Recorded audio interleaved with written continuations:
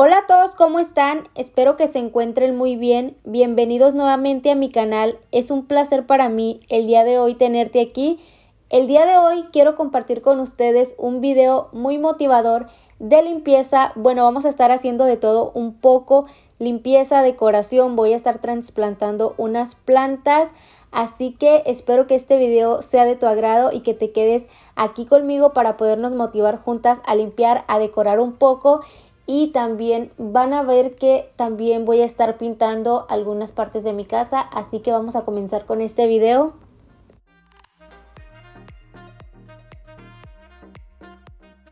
Lo primero que les quiero mostrar es cómo están mis sofás de la parte de adentro. La verdad es que tienen alguna que otra basurita. Yo estos sofás ya tiene bastante que había hecho una limpieza profunda, pero yo casi siempre por lo regular lo limpio muchísimo más de la parte de afuera, pero en esta ocasión lo quise hacer un poquito más a detalles, por eso que voy a estar aspirándolos y también me di cuenta que todas las partes de mi sofá tienen como esta mancha, por eso decidí hacerle con este líquido y pues con este cepillito vamos a estarlos limpiando un poquito más a profundidad.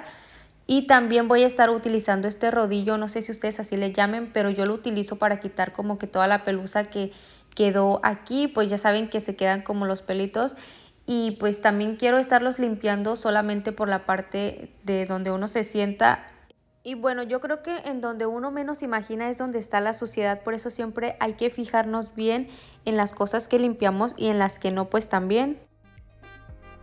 Voy a estar eh, barriendo, ya saben ustedes que yo tengo a la Cleopatra, que es una aspiradora que aspira sola a la casa, pero la verdad es que esta vez como lo, como lo quiero hacer pues más a profundidad, eh, estoy tratando de yo misma hacer todo. Por aquí también voy a estar limpiando mi televisión, las ventanas, eh, esta lámpara de por acá. No alcanzo mucho en la área de la televisión, así que ahorita más adelante yo voy a estar poniendo una silla o a ver en qué me monto para poder limpiarla porque soy muy chaparra y pues no alcanzo.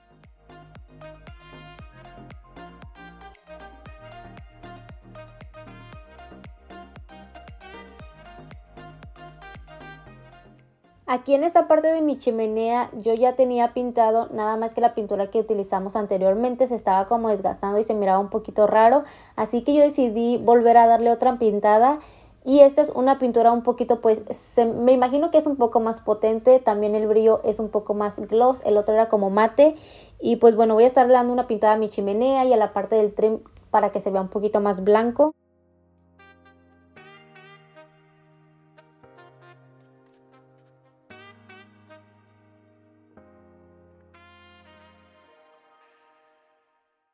Por este otro lado yo ya comencé a colocar mi carpeta. Como ustedes saben tengo muy poquito con ella.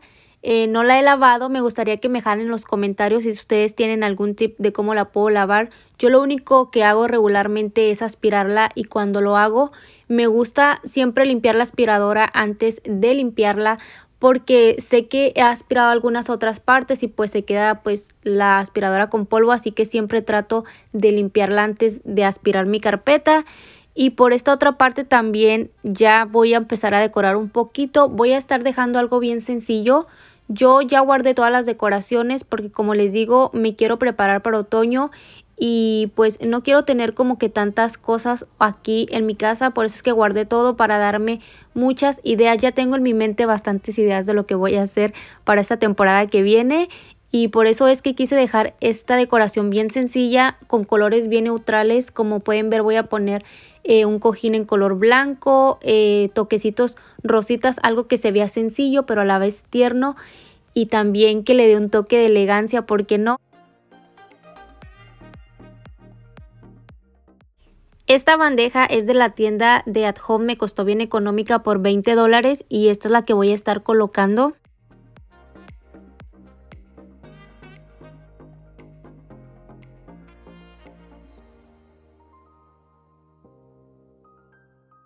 Por este otro lado también voy a estar agregando este ginger que si ustedes recuerdan lo pintamos en un video pasado, era de color azul con verde. y también quiero estar agregando estas flores, más bien son unas hortensias en color blanco y también voy a agregar estas otras en color rosita muy bajito para que le dé un toque bien sutil pero a la vez que se vea tierno. Quiero tener aquí en la mesa una decoración bien sencilla que no haya como muchas cosas porque como les digo yo ya guardé todas mis decoraciones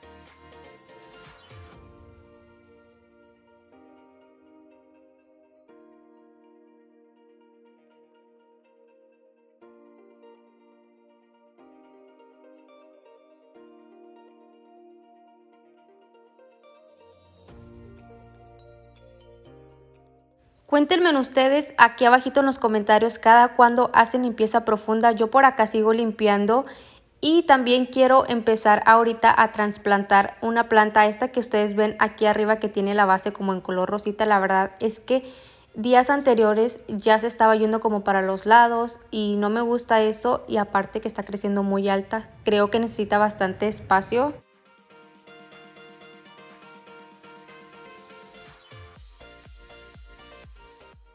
Por este otro lado yo estuve consiguiendo esta base que es en color blanco, me gustó muchísimo ese toque que tiene abajo de la línea en color dorado. Lo único que no me gustan de estas bases es que tienen un agujero en la parte de abajo.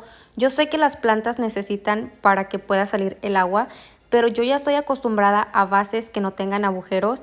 Eh, siento que me han durado muchísimo más las plantas. Por aquí les voy a estar poniendo un poquito de esta tierra y quiero estar separando con muchísimo cuidado eh, pues las raíces de mi planta porque como les digo voy a poner la mitad en la base nueva y pues la otra la voy a seguir dejando en la base que ya tenía. También por este otro lado les muestro más o menos cómo estuvo quedando. Le quiero poner más adelante un palito para que sostenga bien la parte pues de sus ramitas porque hay veces que se va para los lados y ese es un muy buen tip que les doy a ustedes para que se detengan un poquito más y también estoy utilizando este lacito o cinta, no sé cómo ustedes le llamen, para amarrarla y que no se vaya como para los lados. Esto solamente es por unos días en lo que sus ramitas se acostumbran y se quedan bien derechitas. Ya después se lo puede retirar y no pasa nada, quedan como les digo bien derechitas.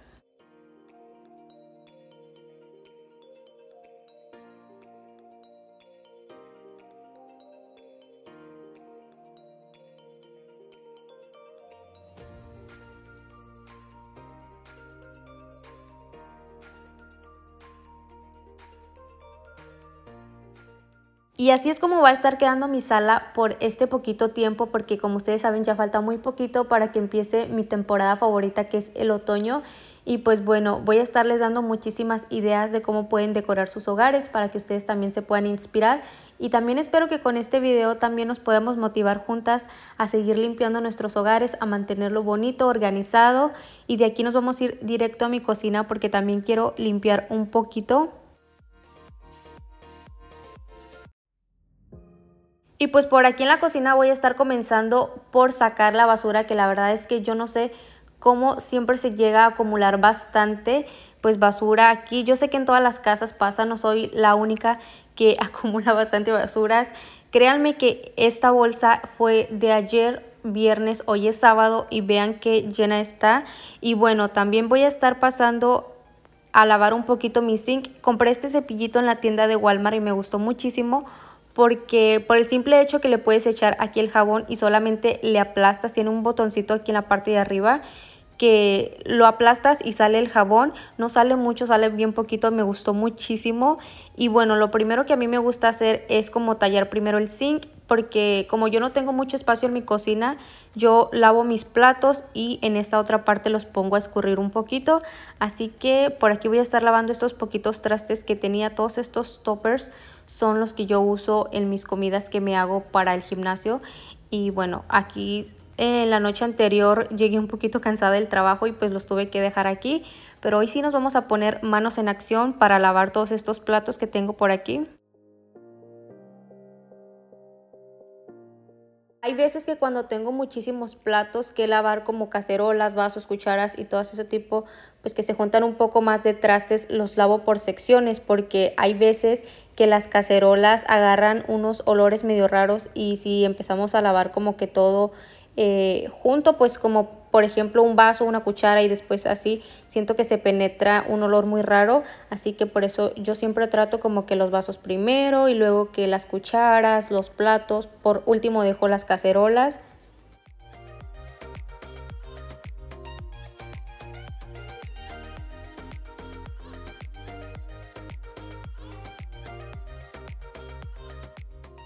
Por este otro lado yo voy a estar comenzando a limpiar lo que es mi estufa, así es como quedó de la noche anterior que nosotros pues hicimos la cena. Y yo uso este producto que es muy fácil de encontrar, lo puedes conseguir en cualquier tienda, ya sea Walmart, Lowe's, Home Depot. Y por acá está otra esponjita que ya está bien viejita, pero la verdad es que todavía me sirve un poquito.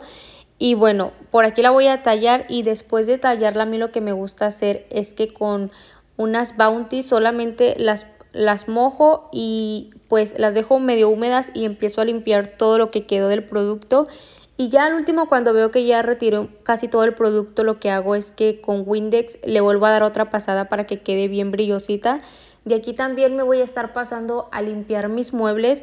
Este es un material que es un poquito como que gloss brilla y siento que con el Windex queda bastante bien.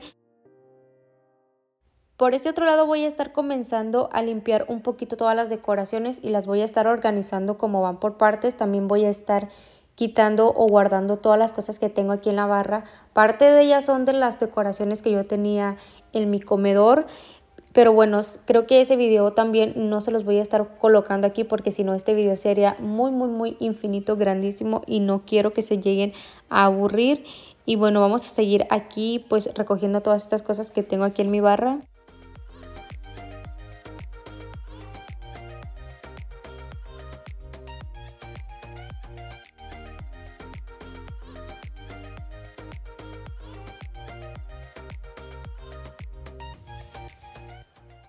A mí me gusta por lo regular limpiar mi refrigerador dos veces a la semana y el truco está en colocar el producto, luego lo dejo que como que repose un poquito y lo limpio.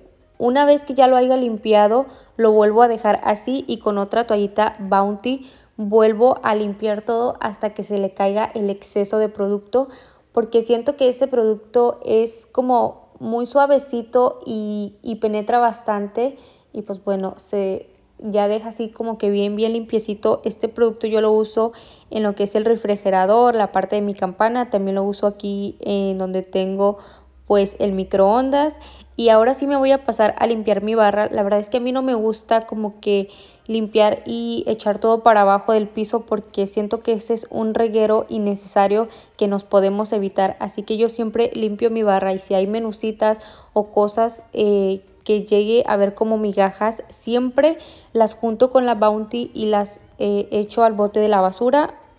Y bueno, así se me hace un poquito más fácil. Ya casi por último por acá, ya ustedes me ven limpiando la parte de la cava o la vinera. Eh, en esta ocasión no lo estoy haciendo a profundidad. Si lo hiciera a profundidad yo retiraría todos mis vinos y las copas pues las lavaría. Pero en esta ocasión solamente voy a estar limpiando lo que son las botellas y también ya vieron que la Cleopatra sí me ayudó nomás a limpiar aquí este piso y yo por acá voy a estar trapeando. Y bueno, así es como quedó la cocina. Espero que este video les haya gustado muchísimo, que se hayan podido motivar. Muchísimas gracias a todas las personas que siempre se quedan al final de este video. Deseo que tengan un día lleno de muchas bendiciones para ustedes, para su familia. Nos vemos en un próximo video. Bye.